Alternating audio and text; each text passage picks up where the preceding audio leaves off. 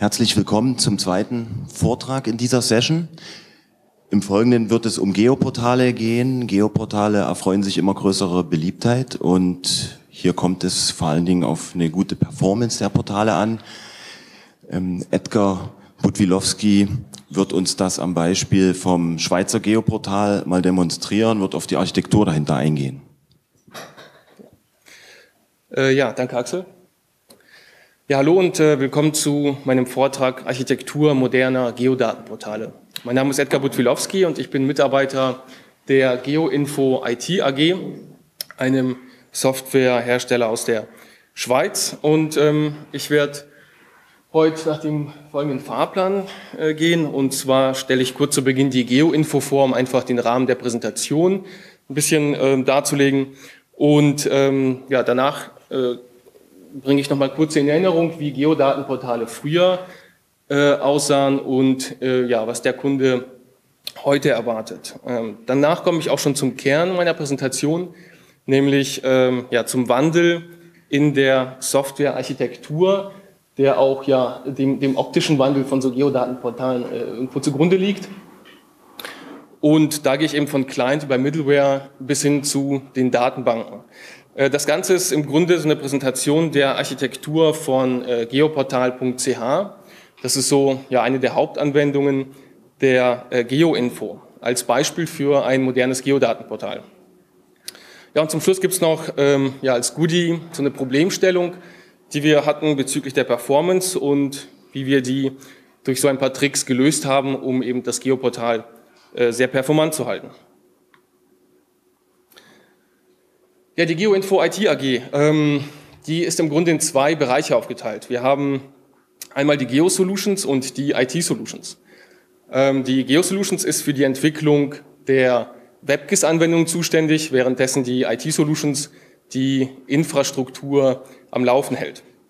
Wir haben also unsere eigenen äh, Serverfarmen, also unser eigenes Datencenter, wie man hier äh, auf der Darstellung sieht, was eben entsprechende Vorteile hat. Dadurch können wir ja noch besser an den Performance-Stellschrauben drehen, um eben das Geoportal äh, sehr schnell zu machen.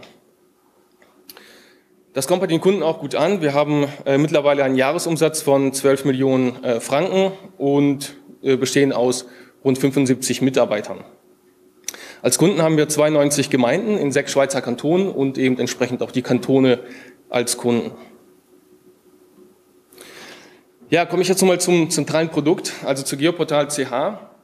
Ähm, das ist ein WebGIS, äh, was die Kommunen als Werkzeug nutzen zur Umsetzung des Geoinformationsgesetzes. Das heißt also, äh, unser Hauptauftrag oder unsere Aufgabe ist es, Informationen für Verwaltungen, Bürger und Kommunen bereitzustellen.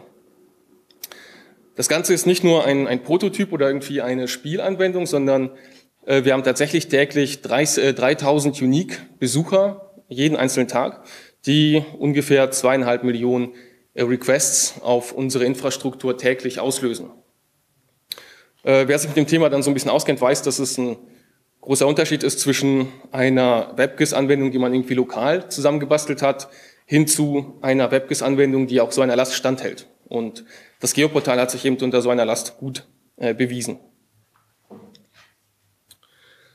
Ja, komme ich nun zur zentralen Thematik, Geodatenportale äh, früher und heute. Mal so ein Beispiel, wie das früher eben so aussah. Man hatte ähm, so ein, ja, ein Geoportal, wo ähm, die, das User-Interface noch recht chaotisch war, wo man eben keine klaren Linien hatte ähm, und wo vor allem bei der Interaktion immer ein kompletter äh, neuer, ein komplettes Neuladen der Applikation äh, ausgeführt wurde. Wenn man also irgendwie zum Beispiel den Kartenausschnitt ein bisschen verschieben will, dann führte das dazu, dass die komplette Website, also das gesamte HTML, äh, nachgeladen wird.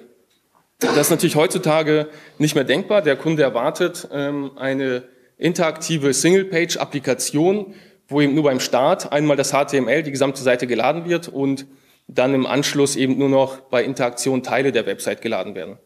Außerdem spielt der Content natürlich, äh, also die, der eigentliche Content, die Karte eine wichtige Rolle. Das heißt also, es ist heutzutage wichtig, dass die Karte in den Vordergrund rückt und dass, die, dass das User Interface eben sehr klar ähm, und minimalistisch daherkommt, um eben schnell ähm, sich zurechtzufinden. Ja, auch in der Architektur hat sich eben äh, eine Menge seit dieser Zeit gewandelt. Also wenn man jetzt ein paar äh, Jahre zurückschaut, dann war meistens der Standard äh, so wie jetzt hier in dieser äh, Darstellung abgebildet. Das heißt also, äh, man hatte äh, serverseitig in der Middleware ähm, ja meistens eine Containerumgebung laufen, auf der dann Surflets ähm, liefen, die eine komplette HTML-Seite ausgeliefert haben und bei jedem Request, also bei jedem HTTP-Request, wurde entsprechend die gesamte HTML-Seite ausgeliefert, was eben zu diesem Stocken in der Web-Applikation führte, also wodurch eben immer jedes Mal bei jeder Interaktion ähm, ja, ein Neuladen ausgelöst wurde. Ähm, da hat sich in der Zwischenzeit ja viel geändert. Also eine der wichtigsten Entwicklungen war sicherlich ähm, asynchrones JavaScript und XML. Aber das ist eben nicht die, einzelne, nicht die einzige Änderung. Und auf diese möchte ich im Folgenden ähm, eingehen, äh, und zwar vom Client über Middleware eben bis, zum, bis zur Datenbank. Starten wir also beim Client und da hat sich zum Glück auf den ersten Blick nicht so viel geändert. Wir haben also zunächst mal nach wie vor äh, HTML für, das, für die Definition des Modells, also für den Inhalt.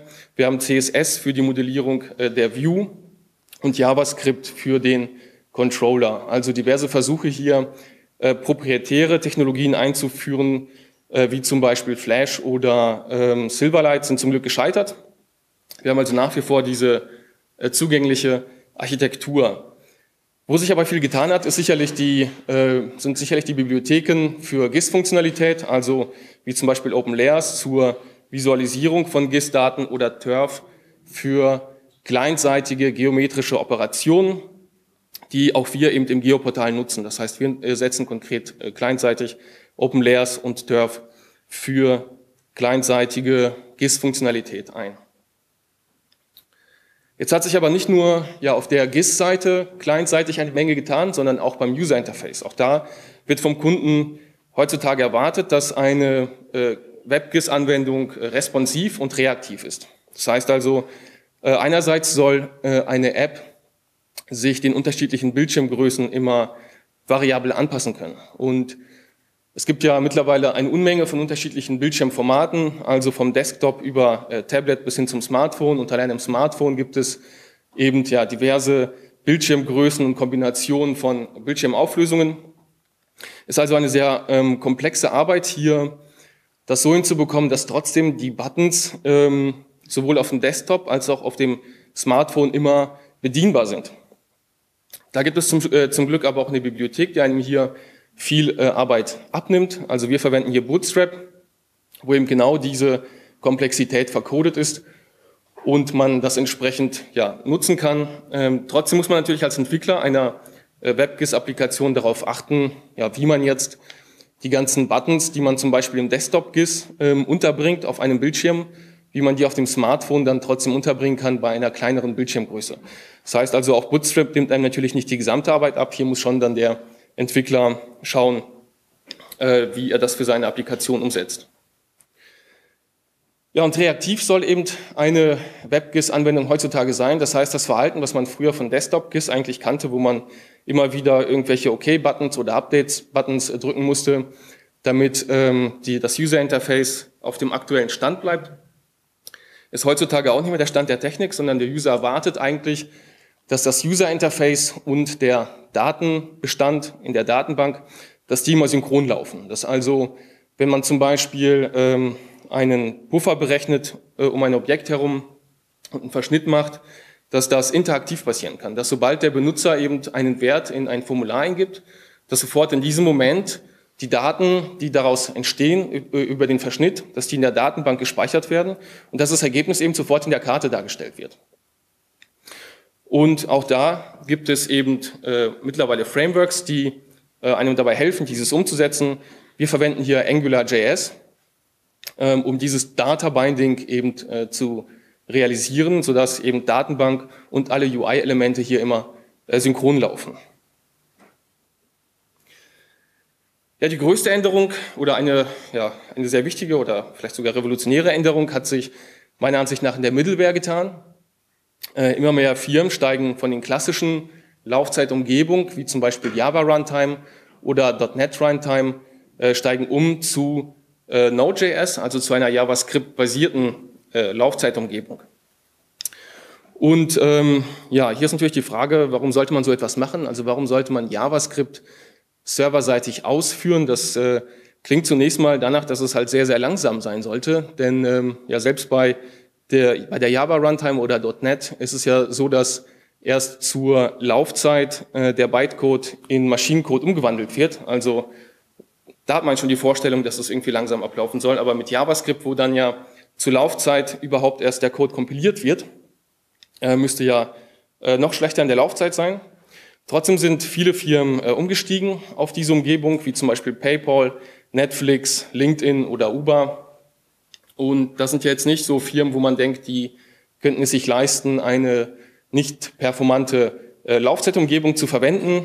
Ähm, und tatsächlich ist es so, da gibt es sehr gute Zahlen auch von PayPal zu, die haben das äh, gemessen, also die haben gemessen den Unterschied zwischen der Anwendung, wie sie früher in der Java Runtime lief und wie sie eben heute unter Node.js läuft und haben festgestellt, dass die Auslieferungszeit für Webseiten doppelt so schnell ist. Äh, das hat auch seine technischen Gründe, warum das so ist, ähm, auf die ich jetzt leider nicht genau eingehen kann, aufgrund der knappen Zeit. Vielleicht kann man nachher noch in der Diskussion dazu kommen. Ähm, ja, und zum Schluss, der letzte Schritt in dieser Architektur ist eben das Backend oder die Datenbank. Und ähm, ich habe hier mal eine Übersicht zusammengestellt, nochmal vom Client über die Middleware bis hin zu, zum Backend, zu den Datenbanken. Wir nutzen hier Postgres und PostGIS und ähm, setzen auch WMS und WMTS-Server ein. Allerdings gibt es keinen direkten Zugriff auf diese Komponenten von außen. Das heißt, wir haben eine dicke Firewall äh, nach außen hier vorne, die eigentlich nur den Zugriff über HTTPS in unser System zulässt und das läuft alles über unsere Middleware, also unsere Geoportal CH Middleware, die auf Node.js läuft.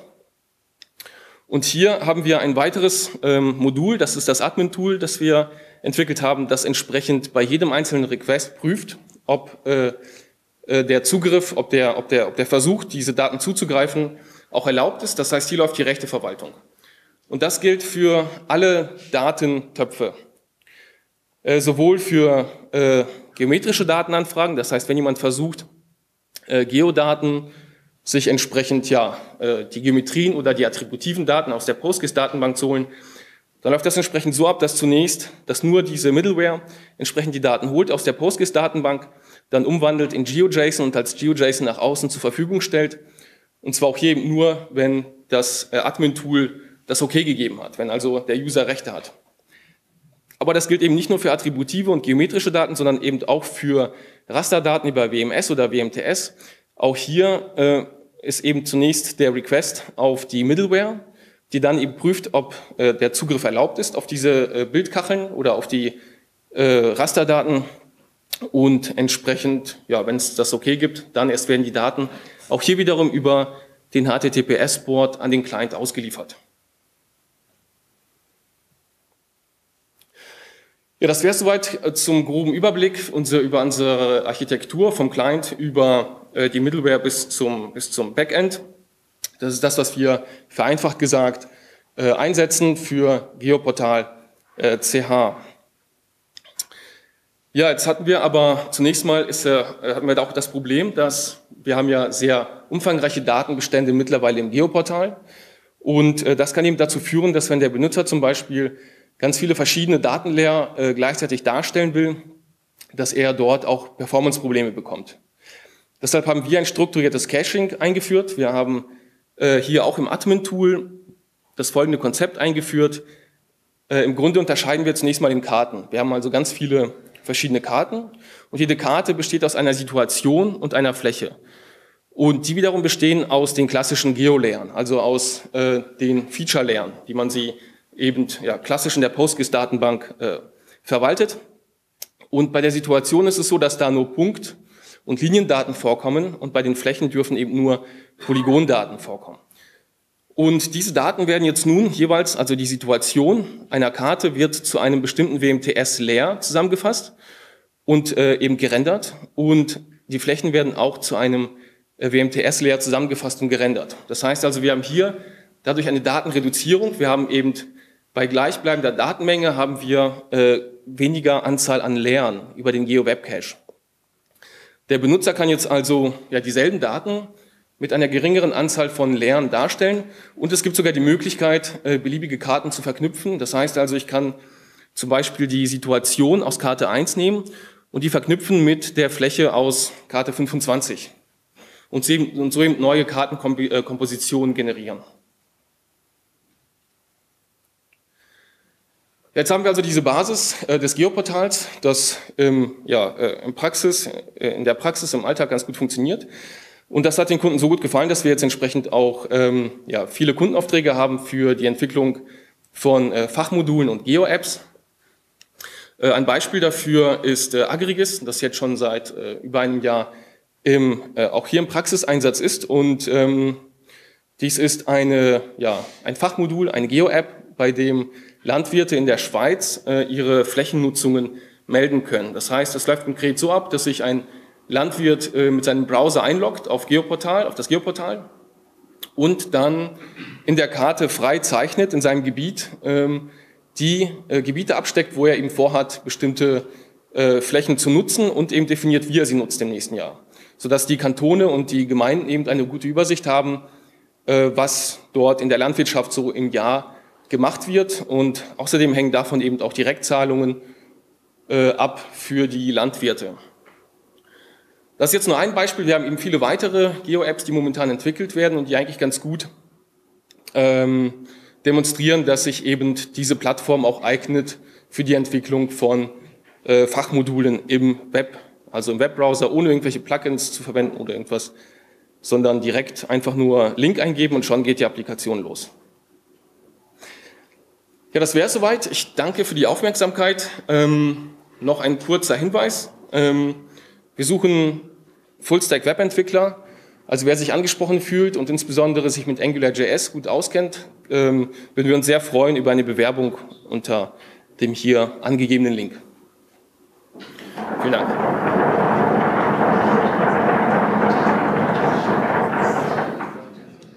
Vielen Dank, Edgar. Und mir ist nicht entgangen, dass das schlechte Beispiel ein Geoportal von Sachsen war. Auch wenn du versucht hast, dort die Sachsenfahne zu retuschieren. Ist mir das so schlecht gelungen?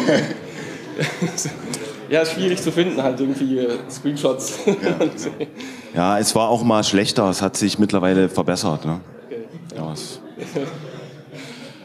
Gibt es Fragen?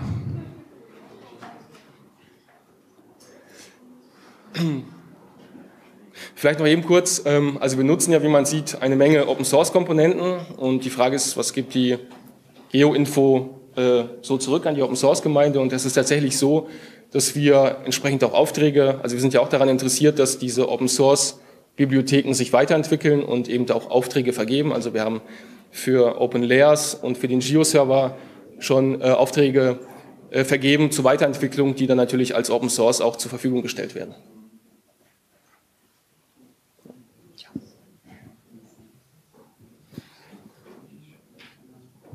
Noch eine Frage zu diesen Spezialmodulen, respektive Digitalisieren. Macht ihr das jetzt alles im Web oder auch noch mit Desktop-GIS? Oder? Alles im Web, ja. komplett im Web, ja, genau. Und ähm, da steigen auch die Ansprüche der Kunden. Das heißt also, ähm, wir sind jetzt angefangen mit äh, sehr reduzierter Funktionalität, so dass es einfacher ist für den Benutzer natürlich. Also es gibt nicht die volle GIS-Funktionalität, sondern eben sehr immer sehr spezialisiert natürlich in den Fachmodulen, so dass man nicht viel falsch machen kann. Also man ist sozusagen sehr eingeschränkt im, im Editiermodus. Das ist gerade wichtig für, äh, für AgriGIS, also für äh, GIS-fremde Personen, die dann trotzdem da ihre GIS-Funktionalität brauchen zum Editieren. Ähm, aber durch die Benutzung steigen jetzt natürlich immer mehr die Ansprüche, gerade von den, ähm, von den Gemeinden, da immer mehr echte GIS-Funktionalität reinzubringen, also immer, immer umfangreicher das Ganze zu gestalten. Noch eine andere Frage. Ihr habt ja früher MapInfo gehabt, soviel ich weiß, oder MapInfo Extreme oder so. Also ja. Das komplett abgelöst oder ist es noch parallel? Oder? Äh, das ist noch parallel, ja. Genau. Ja, ne, ist noch parallel. Da kann vielleicht Marco, mein Kollege, mehr zu sagen. Ja. Wird, wird, komplett abgelöst. Also die alte Welt, die kriegt noch mal so viele Funktionen. Also Desktop ist und sowas. Also es gibt immer noch die alte Welt einfach weil da noch ein ganzes Desktop ist, dahinter hängt und so weiter. Aber Map Extreme war irgendwann nicht sicher, ob es da weitergeht. Und dann hat bei uns in der Firma haben dann die Alarmglocken geläutet hoch, was, was machen wir jetzt, wenn die da nicht weiterentwickeln? Und dann kam die Strategie, sich auf Open Source Software auszurichten. Aber das wird alles abgelöst. Dauert halt natürlich eine Zeit lang. Ja.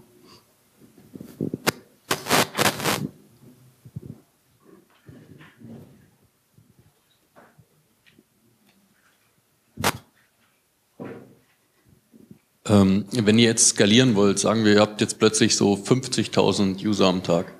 Ähm, was habt ihr da für Drehschrauben? Habt ihr da irgendwelche Load Balancing Schichten dazwischen? Könnt ihr Teilserver dazuschalten, so wie bei Amazon Autoscaling? Ja. Ähm, genau, das ist, ähm, also zunächst mal, ich denke mal, das ist auch einer der großen Vorteile von Node.js im Vergleich zu anderen, zu den klassischen Frameworks. Node.js ist halt sehr schlank und ähm, und das ist ja die Plattform, die man eigentlich dann repliziert in dem Moment. Also wenn jetzt irgendwie höhere Anfragen kommen und man muss das Ganze irgendwie stärker verteilen, dann muss man ja genau diese Plattform ja auch mit replizieren. Und so Plattformen wie zum Beispiel .NET, was irgendwie über 200 Megabyte braucht, ist natürlich entsprechend auch irgendwie ein Riesending. Und ähm, ja, wenn man das irgendwie ähm, den, den Code, den man damit programmiert, dann auch noch irgendwie einen großen Umfang hat, dann ist das ein Problem. Bei Node.js, das ist eben schön schlank und so kann man auch die Umgebung schlank halten und dadurch eben auch ja, schnell replizieren. Ähm, wir haben tatsächlich momentan noch, ähm, ja, sind wir, ähm, haben wir einen Load Balancer äh, und können entsprechend dann äh, die Anfragen auf verschiedene Server verteilen. Ja. Genau.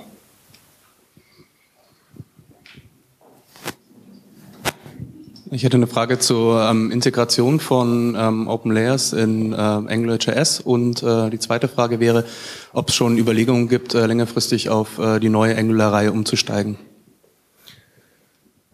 Also auf Angular 2. Ja, ähm, ja, die Überlegungen sind da, ist aber natürlich ein komplexes Unterfangen, weil Angular 2 ja ein kompletter Rewrite ist und bei eben so einer äh, komplexen Applikationen wie Geoportal, wo wir so viele Abhängigkeiten haben, ist das nicht so einfach zu bewerkstelligen. Also das ist in der Planung, aber wird wahrscheinlich ein umfangreicher Prozess. Ja, genau. Und die andere Frage war nochmal die. Ähm, ja, da kann vielleicht auch Marco äh, mehr zu sagen. Da bin ich nicht so drin momentan. Oh, danke. Ja, also im Prinzip haben wir, haben wir das alles selber geregelt. Also wir haben eigene Direktiven, und Controller und alles Mögliche. Im Gegensatz, ähm, also Camp to Camp hat ja morgen einen Vortrag über, über NGO. Damals, als wir angefangen haben damit, wussten wir noch nichts äh, davon tatsächlich. Aber ja, wir haben das dann alles selber gemacht. Und zu Angular 2 sind wir tatsächlich schon so ein bisschen auch am Vorbereiten, einfach dadurch, dass wir schauen, wie muss man es in Angular 2 umsetzen, wie wird's gemacht und dann äh, dementsprechend in Angular 1 die Direktiven schon so weit vorbereiten, eigentlich, dass dann die Migration hoffentlich äh, ohne wenig Aufwand vonstatten geht. Ja. Ihr habt ja auch da auf der Folie gehabt, dass ihr PostGIS verwendet. Mhm. Äh, könnt ihr noch sagen, wie, wie der Aufwand so war, von Oracle zu PostGIS zu gehen? Ihr habt ja doch sehr viele Datenbanken gehabt und wahrscheinlich viel Businesslogik und so weiter. Oder ist das auch etwas, was noch im Gang ist? Oder? Ja, das ist auch etwas, was teilweise noch im Gang ist und äh, tatsächlich auch Kopfschmerzen bereitet. Also ähm, ja, das hängt immer davon ab, in welchem Bereich. Also das ist, es gibt dann, wenn man natürlich sehr viel schon Datenbanklogik sehr nah an der Datenbank gebaut hat, dann, dann ist es natürlich schwieriger, als wenn man sehr, ähm, ja, äh, sehr standardbasiert arbeitet. Also bei Oracle ist es eben das Problem, man muss ja Datenbanken produzieren und dann hat man das Problem beim Umstieg. Ja. Also ist noch nicht abgeschlossen, ja. ja. Und performancemäßig zufrieden oder mit der neuen mit, Lösung? Ja, sicher. Also Postgres, Postgres, also generell natürlich äh, sehr gute Performance. Ja.